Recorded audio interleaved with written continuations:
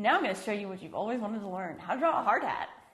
And again, this is might be one of those times that you're like, what is she doing? But just take a second, don't jump to conclusions. Think about do all of this, everything that I'm teaching you is giving you one little facet to a bigger picture. It's part of a whole. This drawing a hard hat can be part of a collection if you're trying to get across a certain viewpoint and if your inspiration say is something based in commercial architecture in, that could be one angle you go to.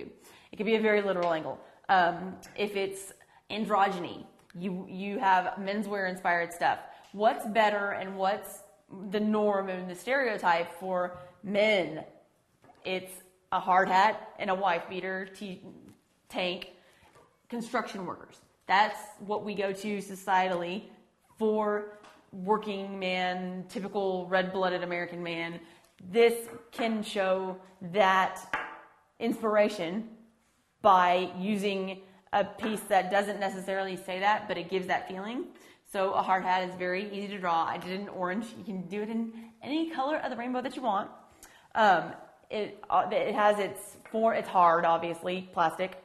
So the lines are part of the plastic, the formed parts, and then draw your visor. It's very easy and it comes across, it comes out really well.